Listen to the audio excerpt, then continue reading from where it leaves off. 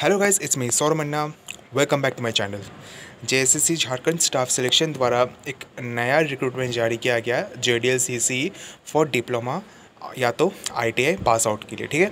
तो आज का इस वीडियो में, इस नोटिफिकेशन में जो भी डिटेल्स दिया, आज इस वीडियो में आपके साथ शेयर करने वाला हूँ। जैसे कि इसका एलिजिबिलिटी क्या रहेगा, कितने सीट्स रहेंगे, है ना?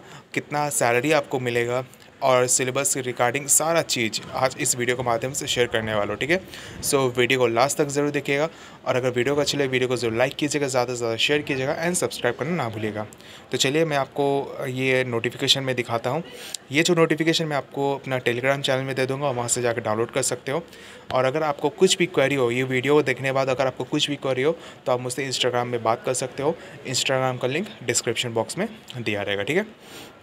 तो सबसे पहले यहाँ पे ये भी, ये नोटिफिकेशन दिया है कि जो कि यहाँ पे लिखा हुआ कि जो ऑन जो फॉर्म फिलअप है वो आपका लॉगिंग जो कि J S C dot N I C dot in में आपका ऑनलाइन फॉर्म फिलअप स्टार्ट हो जाएगा। ठीक है? तो इसका जो फ़र्स्ट ऑफ़ ऑल इसका जो परीक्षा शुल्क है वो आपका सौ रुपये लगेगा। ठीक है? और झारखंड राज्य के अनुसूचित जनजाति अनुसूचित जाति वालों के लिए पचास रुपया लगेंगे। ठीक है?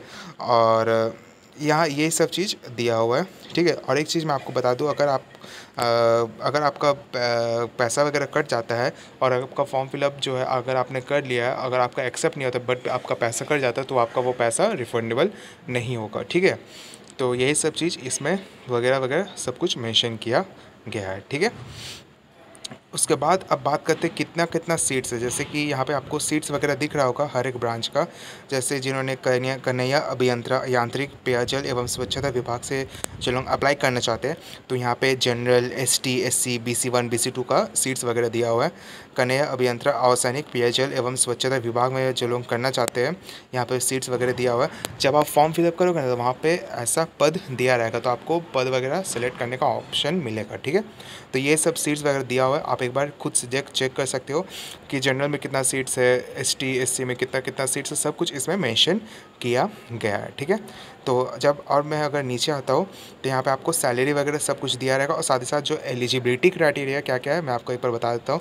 जो लोग स्ट्रीट लाइट इंस्पेक्टर में जो लोग अप्लाई करना चाहते हैं, उनका तो पच्चीस हज़ार से लेकर एट्टी वन थाउज़ेंड तक का सैलरी है और मान्यता प्राप्त विश्वविद्यालय या तो संस्थान से इलेक्ट्रिकल ट्रेड से जिन्होंने डिप्लोमा या तो आईटीआई किया हो तो उनके लिए ये है, ठीक है? जिन्होंने पाइपलाइन, जो लोग पाइपलाइन इंस्पेक्टर से जो करना चाहते हैं, उनका जो सैलरी वो उन्नीस हज़ार नौ सौ से सिक्सटी थ्री थाउज़ेंड का सैलरी आएगा।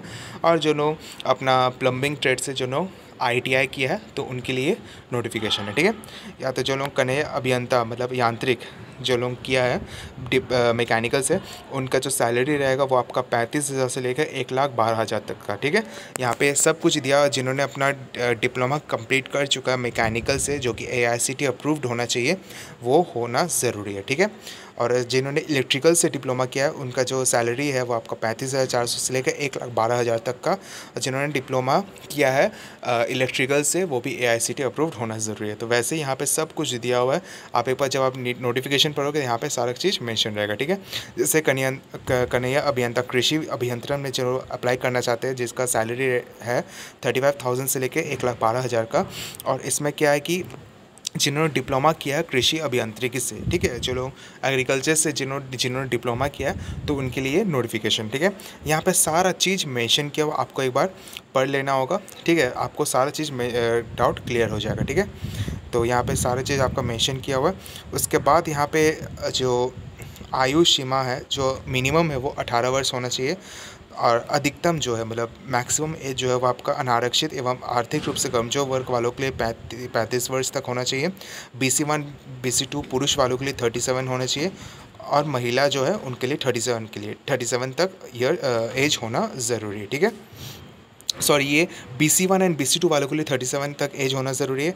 जो महिला, जो लेडीज़ है, जो लोग, उनका जो बी सी वन या तो बी सी टू या तो एस टी एस या तो एस सी जो लोग बिलोंग कर रही हो, उनका थर्टी एट वर्ष तक होना ज़रूरी है। एंड अनुसूचित जाति, अनुसूचित जनजाति, पुरुष एवं महिला जो कि S T S C category से बिलोंग कर रहा हो, उनका चालीस वर्ष तक होना ज़रूरी है, ठीक है? तो ये सब चीज़ मैंशन किया हुआ है ओके और और और यहाँ पे जब आप और भी नीचे आओगे तो यहाँ पे सिलेबस वगैरह मेंशन किया है, ठीक है? तो मैं एक बार नीचे आता हूँ तो यहाँ पे सिलेबस वगैरह सब कुछ दिया हुआ है, ठीक है? तो एक बार मैं आपको बता दूँ, जो फॉर्म फिलअप जो है आपका 25 तारीख से स्टार्ट होने वाला है। 25 मई से स्टार्ट होने वाला और 24 जून तक इसका लास्ट डेट है, ठीक है? यहाँ पे सब कुछ डेट्स वगैरह दिया हुआ है, ओके? तो ये सब आपको जानना ज़रूरी है। एग्ज़ाम जो आपका सीबीटी मोड में एग्ज़ाम कंडक्ट करवाया जाएगा ठीक है? और यहाँ पे एग्ज़ाम जो आपका एक चरण में एग्ज़ाम करवाया जाएगा, ठीक है? जिसमें तीन अंक मतलब जो क्वेश्चन रहेंगे वो तीन मार्क्स क्वेश्चन रहेंगे और और जो आंसर जो नेगेटिव मार्किंग है वो वन माइनस माइनस वन किया जाएगा, ठीक है? तो यही सब चीज़ दिया हुआ है। पत्र वन जो अभी जो पार्ट वन एग्ज़ाम होगी जिसमें से दो घंटा का एग्ज़ाम होगा वन ट्वेंटी क्वेश्चंस रहेंगे जो कि सामान्य अभियांत्रिकी से अस्सी क्वेश्चंस रहेंगे और सामान्य ज्ञान से चालीस क्वेश्चंस रहेंगे, ठीक है?